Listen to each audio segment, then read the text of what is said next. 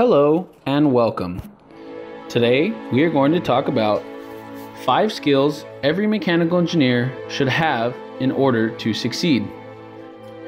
Mechanical engineering is the branch of engineering that involves the design, production, and operation of machinery. It is one of the oldest and broadest of the engineering disciplines. This field requires an understanding of core areas including mechanics, dynamics, thermodynamics, material science, electricity, and much more.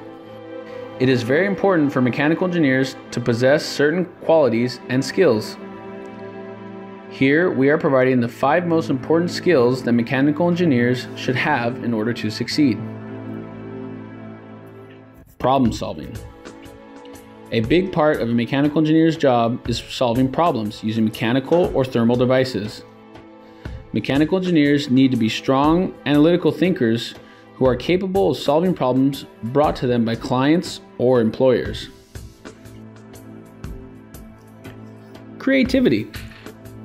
Mechanical engineering involves developing and designing products, which range from batteries to electric generators to medical devices. Inventing products involves a lot of creativity. A creative mind is essential for this kind of work. Communication skills.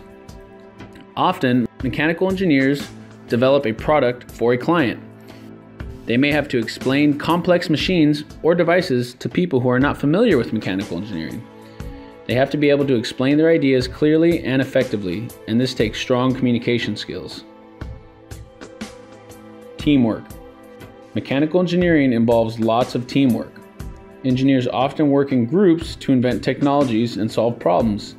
They might work with people who are not mechanical engineers, such as computer scientists or architects.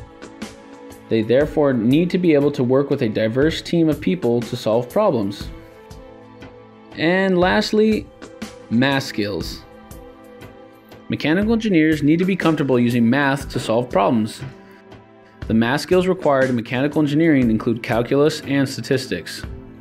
They need to be able to apply these skills to analyze problems and design solutions. That's all for today. Thank you for watching.